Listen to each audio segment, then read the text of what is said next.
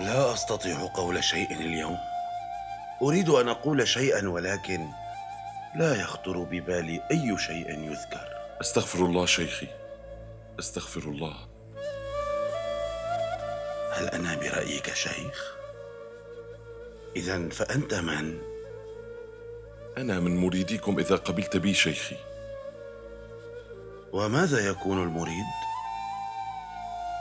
يوجد بيننا من تعلم اللغة العربية وتلقاها في أعظم المدارس.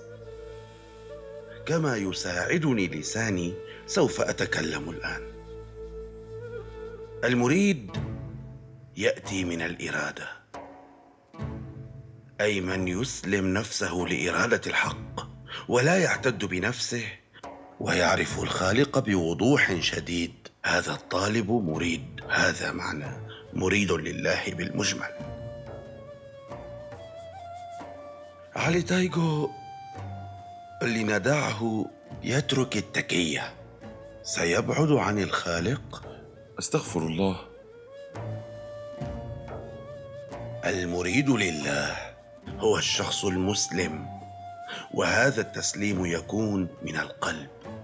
وهل ديننا الإسلام لا يعني التسليم؟ ما معنى الرب إذن؟ يعني المربي. فمريد الله مسلم قلبه تماما لله عز وجل. إيه هل هذا سهل يا علي تايجو لماذا تظنون أن سلسلة الطريقة تستمر لغاية الآن؟ لأنه يوجد أشخاص مريدون لله حملوا الرسالة رسالة نبينا محمد صلى الله عليه وسلم.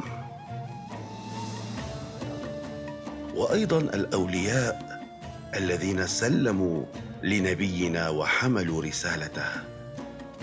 وعلى هذا تربوا. ليست البطولة هي ما يكتب في الكتب التاريخية القديمة. عن مواجهة الأعداء في المعارك.